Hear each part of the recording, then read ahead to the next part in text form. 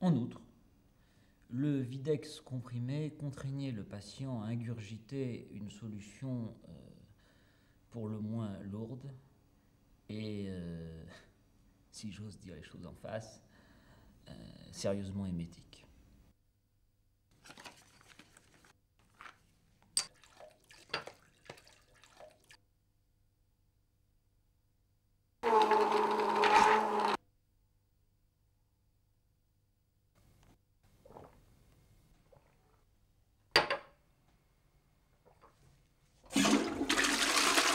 Hein, alors, on comprend mieux comment mon équipe et moi-même nous sommes intéressés, et de près, laissez-moi vous le dire, à trouver une nouvelle formule galénique euh, pour le Videx.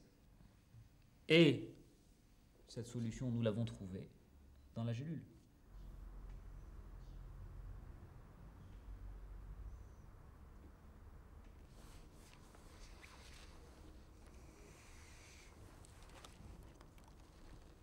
Explication.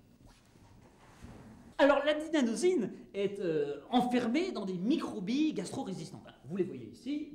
Et alors, elles permettent évidemment euh, euh, à la dinanosine de traverser les perturbations acides hein, que vous trouvez dans l'estomac sans trop d'encombre. et puis à ce moment-là, donc, un anticyclone va les pousser vers le duodénum, bien sûr. Et à ce moment-là, dans ce milieu à pH largement supérieur aux moyennes moyenne saisonnière, hein, eh bien euh, là, euh, les microbilles euh, vont, se dissoudre, et puis elles vont libérer la dianosine, la didanosine, oh la didanosine, et puis la didanosine libérée, évidemment, elle va être elle-même absorbée tout au long de l'intestin grêle proximal, lâchant sa puissance thérapeutique optimale.